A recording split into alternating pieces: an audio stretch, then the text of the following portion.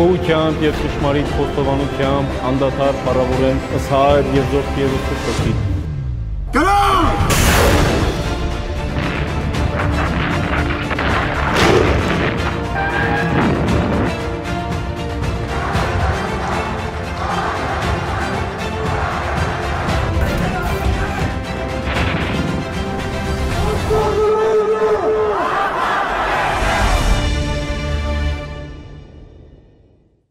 Բարև ձեզ։ Եթերում 24-ի հարցազրույցն է։ Տաղավարում զրուցել եմ քաղաքագետ Հայկ Սուքիասյանի հետ։ Բարև ձեզ։ Շնորհակալ եմ մեզ մոտ գալու համար։ Վաշինգտոնում սպասվում է Հայաստանի եւ Ադրբեջանի արտաքին գործերի նախարարների հանդիպումը Միացյալ Նահանգների պետքարտուղար Մայք Պոմպեոյի հետ։ Ավելի վաղ իհարկե խոսակցության թեման լինելու է Արցախյան պատերազմը, ստեղծված իրավիճակը, ավելի վաղ Պոմպեոն հայտարարել էր, որ Պատերազմին աջակցում է Թուրքիան, տողատակով իհարկե, կոչ անելով, որ դա չարվի։ Թուրքիան միանշանակ չի լսում ոչ Պոմպեոին, չի լսել ոչ Ֆրանսիային եւ չի լսել անգամ Ռուսաստանին։ Ի վերջո Պոմպեոյի հանդիպումներ արտգործնախարարների հետ ինչ արդյունքի կարող է բերել, ինչ սպասենք։ Դե եթե նկատի ունենք միջև այդ Պոմպեո հայտարարությունը ուղված հայ ժողովրդին, որ սիրելի հայ ժողովուրդ, ես հույս ունեմ, որ դուք կկարվեք ձեր հայրենիքի համար, նախ այն հայրենիքի փաստի արձանագրումը շատ կարևոր է։ Ես ընդհանրում եմ կոչի տողատակում եղել է հետեւյալը՝ դուք շարունակեք կռվել, մենք կչափավորենք Թուրքիային։ Այդ Թուրքիայի սանձարձակությունը, գիտեք, դա ճիշտ է, այդ դա թուրքական ավանդույթ է, անել հնարավոր բան, որսի ինչ որ միտեղից հնարավոր ինչ որ արդյունք քաղել, բայց Թուրքիան պետք է իմանա, որ ինքը գործ ունի միջուկային երկրների հետ Ռուսաստանին չլսելը, չգիտեմ, գիտեք, դա մի քիչ չափազանցված տեսակետ է։ Ռուսաստանին չլսել չի կարող, եթե Ռուսաստանը որոշի, որ միջուկային զենքի, չգիտեմ, վերաբերյալ հայտարարություններ անի, չեմ ասում ուղիղ կիրառման, པարզ է։ Ես ենթադրում եմ Թուրքիան չափավորելու են Պոմպեոյի Հայաստանի Հանրապետության արտգործնախարարի եւ Ադրբեջանի թուրքական էթնոկրատ պետության արգոսնախարի հրավիրումը հետեւյալն է, որ իրենք չափավորելու են Թուրքիային եւ տպավորությունն է, որ նաեւ Պուտինը ասեց, որ մեր տեսակետները ԱՄՆ-ի հետ համընկնում են, համընկնում են, ես չգիտեմ ինչ հարցում, համընկնում են հավանաբար Թուրքիայի հարցում։ Հետևաբար մենք սպասենք Թուրքիայի չափավորմանը։ Իսկ արգոսնախարարները թող հանդիպեն բանակցեն, հետո կտեսնենք ինչ է։ Փոխարենը ինչ որ բան պետք է տան, չէ՞ Թուրքիային այդ չափավորումն ապահովելու համար դժվար թե Թուրքիան հետ քայլ կատարի, թե դուք պատժամիջոցների եւ այլնի մասին եք խոսում։ Գիտեք, ինչ որ բան ինչ պետք է տան, սկսենք սա Թուրքիան ինչ որ պետք է Այսինքն որևէ պայմանավորվածություն չի կարող լինել։ Չի կա Թուրքիան ինչ պետք է տան։ Չէ, այդ տեսակետը կարծեմ չի, Թուրքիային բարձրապես Թուրքիան գիտեք ոնց է։ Հիմա Աֆրիկայից սկսած, չգիտեմ, արաբական աշխարհով սկսած, Կիպրոսով, Հայաստանի, Հարավային Կովկասով խառնակցություններ արել, հավանաբար իրենց չարաճճի երեխային իրենք չափավորելու են։ Ես կարծում այդպես լինելու է։ Մնացածը գիտեք, այսպես ասենք, դեռևս թող հանդիպեն կտեսնենք, էլի։ Բարձր ես ենթադրում եմ, որ ԱՄՆ-ն ամեն դեպքում էլի Ռուսաստանի նման բալանսի քաղաքականություն է վարել, ինչպես որ Պուտինը երեկվա հայտարարության մեջ, Ամեն դեպքում էլ եմ ասում, շատ բան կախված է մեր կռվելու որակից։ Մենք որ կռվենք, շատ բան հնարավոր է փոխվի, էլի։ Իմիջայլոց Պուտինի վերջին հայտարարություններից մեկը, որ Ռուսաստանի կամ իրենց կարծիքները Ղարաբաղի հարցում չեն համընկնում Թուրքիայի կարծիքների հետ, տեսակետների հետ, ինչ է նշանակում։ Սա ինչ ակնարկ է։ Դա նշանակում է Թուրքիայի այն փորացավը, որ տեղավորվի ամեն գնով Միսկի խմբի շրջանակներում, դա չի լինելու, սա փաստենք հաստատ դա ինչ է նշանակում կարող է Թուրքիան դրանից ակտիվանալ հնարավոր է այո բայց ես ենթադրում եմ որ այս պահին արդեն ԱՄՆ-ի եւ Ռուսաստանի ակտիվացումը, մինչեւ այդ նաեւ Ֆրանսիայի ակտիվացումը, ես ընդհանրում եմ, որ Թուրքիային թույլ չեն տալու ակտիվանալ։ Այսինքն դա նշանակում է, որ Թուրքիան Միսկի խմբում չի խցկվելու, դա 100% է, դա նշանակում է, որ նաև Թուրքիային չափավորելու են։ Իսա նշանակում է մի բան, Եթե Թուրքիան չափավորվելու է, ընդ որում ես հավատում եմ, որ այդպես լինելու է, դա նշանակում է, որ բանակը ստանում է լավագույն շանս, լավագույն շանս Ադրբեջանի հարցերը լուծելու։ Պարոն Սուքիասյան, կարծիքներ կան, որ միջազգային ճնշումը Ադրբեջանի եւ Թուրքիայի նկատմամբ ուժեղանալու է ամբողջ միջազգային հանրության մասին է խոսքը եւ դիվանագիտական ճնշումները կարող են փոխվել ավելի խիստ ճնշումներով։ Պատժամիջոցներ կամ մեկ այլ տարբերակ գուցե, որպեսզի դադարեցվի պատերազմը։ Արդյոք հենց այդ միջազգային հանրությունը կարող է այսօր այնպես անել, որ Թուրքիան իր ադրբեջանցի գործընկերների հետ միասին հետ քաշվի։ Առաջին հերթին միջազգային հանախ միջազգային հանրություն էլի ճշտ ենք, էլի դա մի ալիթով ասել եմ, էլի միջազգային հանրությունը պետք է ունենա սուբյեկտ։ Ո՞վ է սուբյեկտը։ Միջազգային հանրություն դա հեղեղուկ ձևակերպում է։ Իրենք հավանաբար դուք նկատի ունեք ինչ որ գերտերություններ միջազգային առանցքային խաղացողներ միգուցե։ Հա, իրենք չափավորել են հաստատ, բայց ես ասեմ ձեզ հետեւյալը, միայն իրենցից չի կախված, կախված է մեզնից։ Օրինակ, եթե Թուրքիան շատ շարունակի իր խառնակցությունները, ես ընդհանրում եմ, որ Հայաստանի Հանրապետության իշխանությունը այսօրվանից կոչ պետք է պատրաստի դիմելու Թուրքիայի իսլամացած հայությանը որտեվ մենք գիտենք, որ այնտեղ Թուրքիայում ապրում է, չգիտեմ, 3, 4, 5 միլիոն իսլամացած հայություն, ան որ իսլամացել են, դա այդպես ստացվել է, բայց այդ մարդիկ արքետիպի մեջ, խորքի մեջ հայեր են։ Ես գիտեք, Թուրքիան Հանտինգտոնի ձևակերպան Թուրքիան համարում է ճակած պետություն, դա տերմին է ճակած քաղաքակրթությունների մեջ, ինքնության մեջ։ Լենինը ինչ էր ասում, չնայած դա ճիվաղ է, բայց դա կոնֆլիկտների վարպետ է ասում եթե դուք չեք կարող պետությանը ուղիղ գրոհով հաղթել, պետք է պետությունը քայքայել ներսից։ Հետևաբար Թուրքիա մենք կարող ենք դժվար բան է իհարկե, շատ դժվար բան է, բայց մենք կարող ենք դա անել։ Հայաստանում այսօր պետք է պատրաստվեն, եթե եթե Թուրքիան չչափավորվի, չնայած կարծում եմ չափավորվելու է, բայց ամեն դեպքում մենք պիտի սովորենք ընդհանրապես ինչ որ բան կանխատեսել հետո անել, ոչ թե պաժարնիկի նման գործ անենք, ընկնենք իրադրության մեջ, հանկարծ մտածենք ոնց ենք դուրս գալիս այն նախապես պատրաստենք ինչ որ բաներ։ Ես ընդհանրում մենք կարող ենք դիմել Հայաստանի Հանրապետության կոչով Թուրքիայի իսլամացած հայության անհրաժեշտության դեպքում ապստամբելու եւ Թուրքիան այդ ժամանակ շատ չափավորվի, էլի կտեսնենք։ Պաշտոնական Անկարային զսպելով մենք նկատի ունենք, որ դրանից հետո պատերազմը ավարտվելու է։ Ոչ, պաշտոնական Անկարային զսպելու պարագայում մենք ստանալու ենք լավագույն շանս Իհարկե դա երբ որ Անկարային զսպեն, հավանաբար parze որ այդ այդ ժամանակ Ադրբեջանը դառնալու ատամները քաշած պետություն, նա այլևս այդ ագրեսիվությունը չի ունենալու։ Անկարային զսպելու պարագայում ես ենթադրում եմ, որ մեզ անելու են ավանդական, չգիտեմ, միջազգային հանրություն կոչվածի կամ իսկի խմբի պետությունների ավանդական երգը դադարեցնել պատերազմը։ Ես ընդհանրում եմ այդ պարագայում պետք է լինի հակառակը։ Երբ որ Թուրքիային ճնշեցին, հայկական զորքը պետք է առաջ գնա։ Այսինքն եթե զինադադար առաջարկվի կամ փողզիչումային տարբերակի համաձայնություն ստացվի, մենք չպետք է առաջարկվելու է զինադադար, մենք է մի քիչ ձգենք, մի քիչ է բանակցենք, մի մի օր է ուշ գնանք։ է գնանք այնտեղ երկու օր քնենք, չգիտեմ, ինչ որ մի բան պետք է անենք։ Դիվանագիտությունը պետք է ձգձգի, երբ որ Թուրքիան չափավորի, այդ ընթացքում գոնե հնարավոր լինի առաջ գնալ որոշակի իմաստով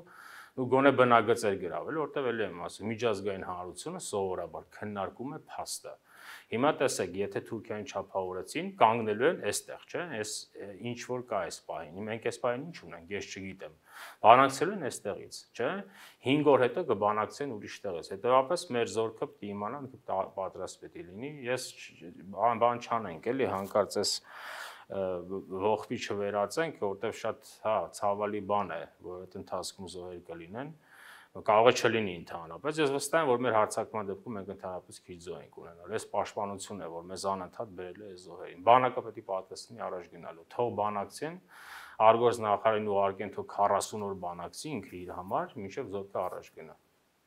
Պարոն Սոքյասյան, ինչ եք կարծում վարչապետի այն դիտարկման վերաբերյալ, որը հնչեց մի քանի օր առաջ ուղերձի տեսքով հայ ժողովրդին ուղված, որ այս պահի դրությամբ որևէ բանակցությունների մասին խոսել չի կարելի, որովհետև դրանք ուղղակի անիմաստ են Ադրբեջանի ուզածը կապիտուլյացիայի ակտի ստորագրում տալն է մեզ։ Դուք եք մտածում, որ բանակցային որևէ ելք չի մնացել խաղաղ կարգավորման հասնելու համար։ Գիտեք, ես միշտ եղել եմ այն տեսակետին եւ կարող եմ պնդել իմ տեսակետը։ Այս հարցը խաղաղ կարգավորում չունի չունի պարզապես։ Գիտեք, հայ-թուրքական հարաբերությունների մեջ կոմպրոմիս չկա, չի առաջանում։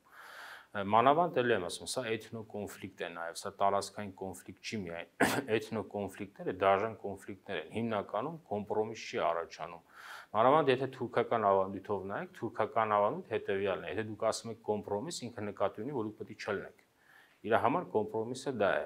Եվ մենք եկել ենք հերթական անգամ 40 տարվա տարապանքով 50 անգամ նույն փոսի մեջ ընկնելով եկել ենք այն եզրահանգման 51-րդ անգամ մենք հասկանում ենք, որ այս հարցը դիվանագիտական լուծում չունի։ Ոչ միայն այս փուլում չունի, ես վստահեցնում եմ այլ չունի նաև հետագայում։ Այս խնդիրը ունի մեկ լուծում, դա ռազմական լուծումն է։ Ուզենք, չուզենք, վատ է, չգիտեմ եւ այլն, բայց այսպեսին է իրավիճակը։ Հետեւաբար, որսի մենք ունենանք քիչ թե շատ անվտանգություն կամ խաղաղություն ինչ որ երկար տարիների համար, ոչ թե 3 տարվա, 5 տարվա, գոնե մի 2 տասնամյակի համար մեր բանակը պիտի գրավի այնպեսի բնագծեր, որսի հաջորդ անգամ Ադրբեջանի հարցակողական պոտենցիալը թույլ լինի։ Հակառակ բարագան նորից հարցակվելու են, էլի։ Գիտեք, մի բան էլ եթե թույլ տակ ասեմ։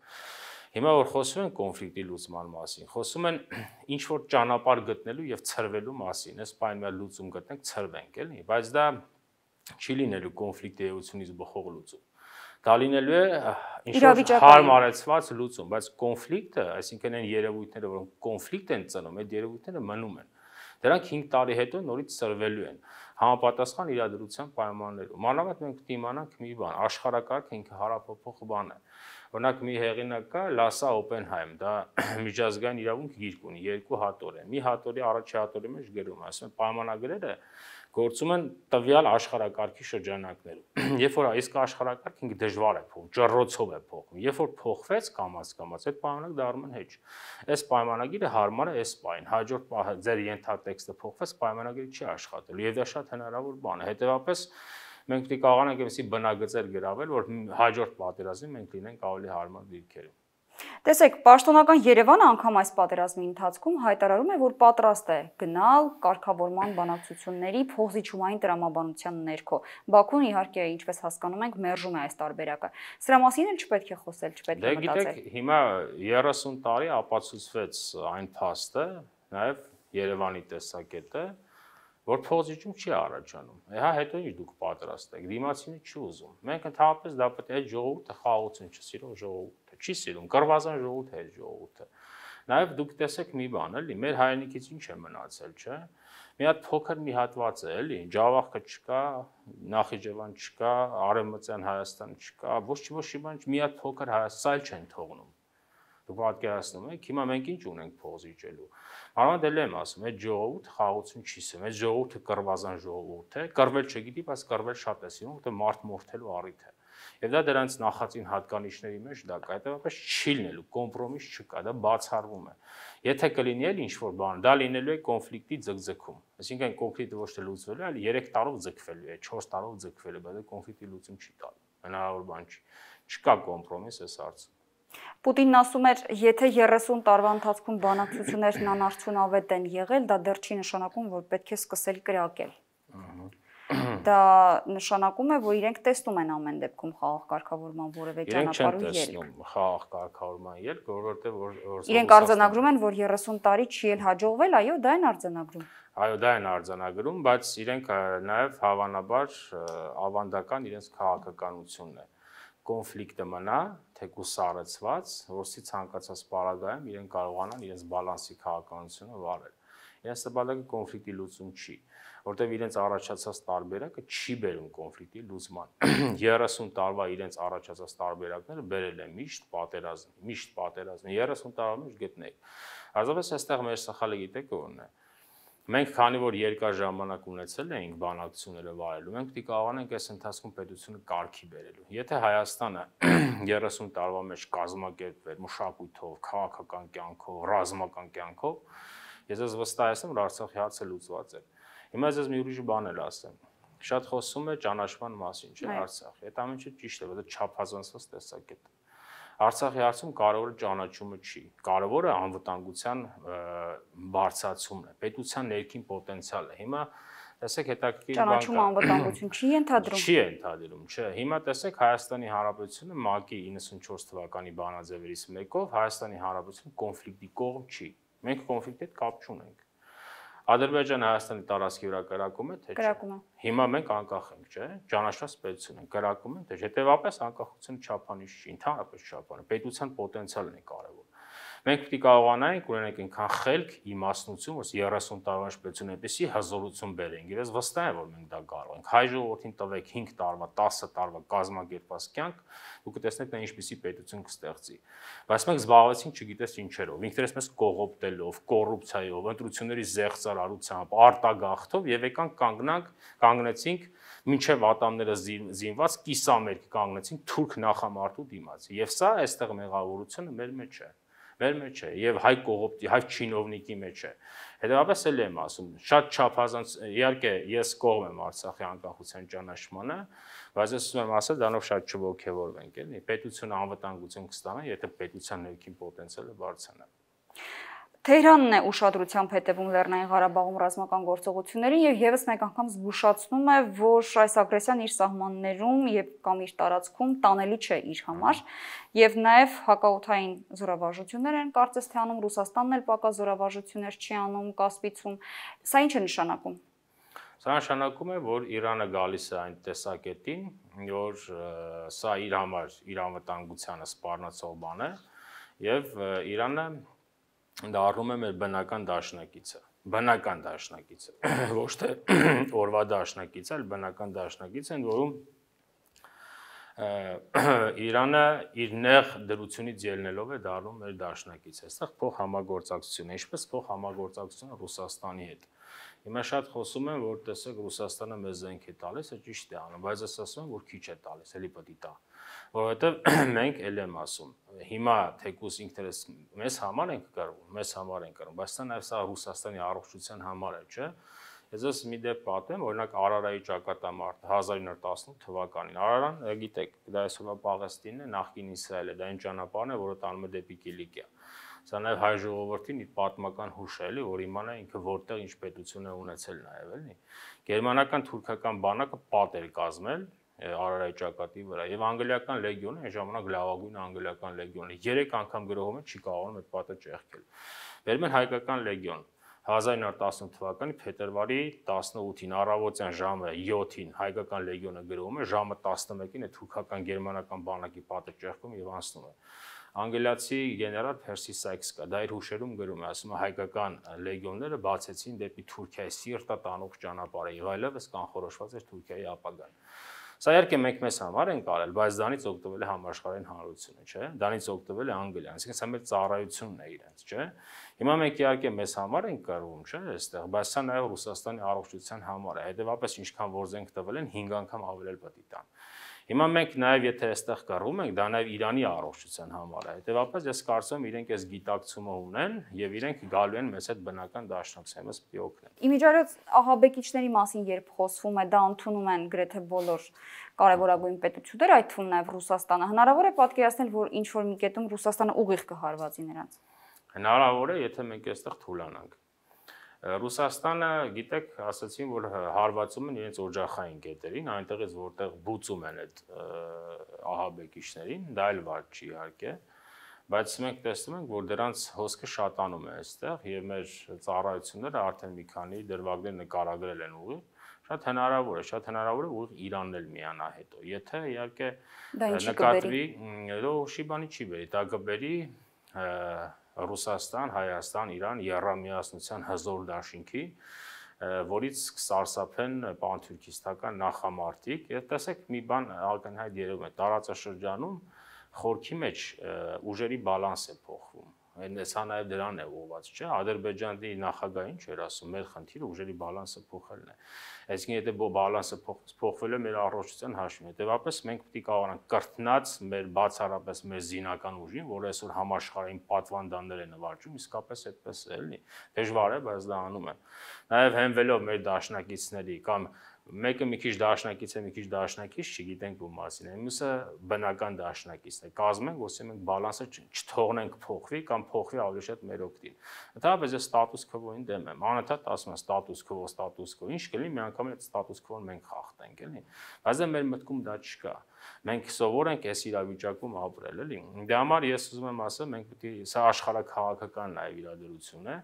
սա նաև հատուկ Հայաստանի դեմ է։ Առաջին հերթին մեր դեմ է, բայց այստեղ նաև բալանսի փոփոխության հարց է։ Դա ասում մենք ուշադիր լինենք, որ այդ բալանսի փոփոխության մեջ հանկարծ մենք չտուժենք, որտեղ եթե բալանսը փոխվեց նրանց օգտին, Հայաստան չի լինելու, դա 100% է։ Բայց ելի եմ ասում, քանի որ Հայաստանը հավերժ է, իրենք չեն լինելու պարտիզանական խմբերի ձևավորման մասին ինչ կարող եք ասել այս պահին դա որքանով է? Որտեղ մեզ մեզ մոտ Այո Մենք դրան պարտիզանական չասենք, մենք ունեցել ենք պայմանական իհարկե։ Հա, ֆիդայական շարժում ենք մենք մենք ունեցել, որ աշխարհը չի չի ունեցել, մենք ունեցել ենք Նեմեսիս, որից թուրքական ղեկավարությունը միշտ սարսափել է եւ ես էլ եմ ասում, դրա լավագույն օրինակը, եթե մենք ուզում ենք պարտիզանական շարժում առաջանա կամ չգիտեմ, ֆիդայական շարժում առաջանա, մենք դի պատրաստվենք էլի ասում Թուրքիայի իսլամացած հայությանը դիմելու 5 միլիոն հայ կա այնտեղ, 4 միլիոն, թե նաև քրիստոնյա հատվածին, բայց քրիստոնյա հատվածը քիչ է։ Իսլամացած հայությանը կոչանելով կանգնել իրենց արմատների վրա, վերագտնել, կանգնել իրենց, չգիտեմ, կրտնել իրենց պատմության, մշակույթի դարավոր արմատների վրա, ես վստահեցնում Թուրքիական կկարողանա դժողքի վերածվել։ Մենք դի օգնվենք կոնֆլիկտի տեսությունից, բայց այդ կոնֆլիկտ տեսությունը լավ պետք է իմանանք, ելի եմ ասում, Թուրքիան ճակած պետություն, դա տերմին է, torn country։ Դա ասում է Սամուել Հանտինգտոնը, որը քաղաքացիների բախում աշխատանք, բա փառահեղ գիտնական է, էլի։ Եթե չեք կարող պետությանը հաղթել ուղիղ գրոհով, ուժեղացրեք այդ պետության մեջ ճակեր, հետապես մենք այդ հնարավորությունը ունենք։ Էլ բայց պետք է աշխատենք, դե աշխատենք։ Շնորհակալ եմ զրույցի համար։ Խնդրեմ։ Զրուցակիցս քաղաքագետ Հայկ Սուքիասյանն էր։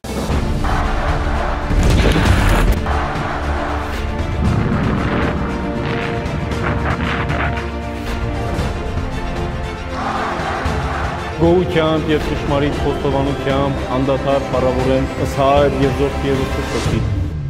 Գնա!